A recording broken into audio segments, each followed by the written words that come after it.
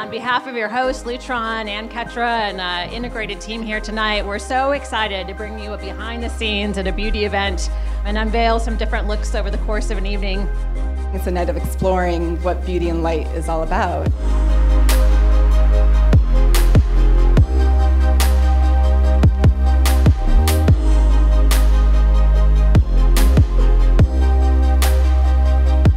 Carlo mentioned some of the work together that we did at Christian Dior Beauty. And one of the things that we always struggled with was what's that right light for that product you're showing, or how do we look and feel most beautiful?